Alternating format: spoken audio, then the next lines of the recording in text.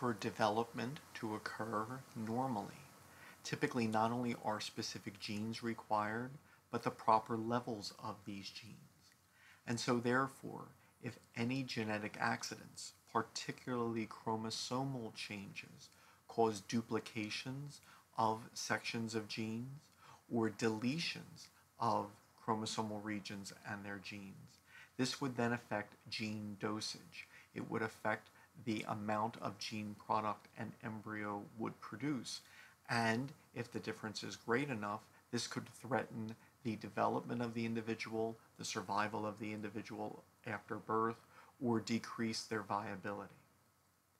Since homologous chromosomes align during uh, meiosis and matching sections of chromosomes undergo synapsis, any chromosomal changes which would then make this less likely could potentially affect the fertility of the offspring.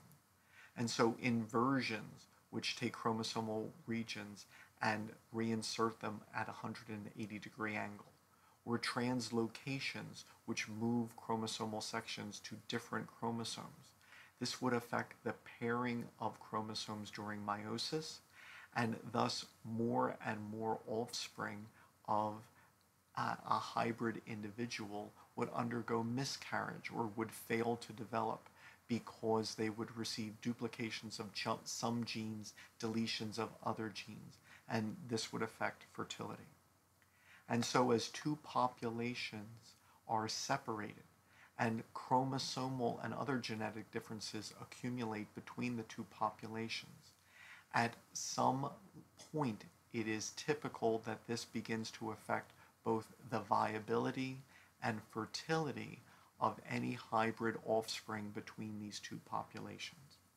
At some point, the offspring may not be capable of viability or fertility, and these two populations are now, now recognized as distinct species.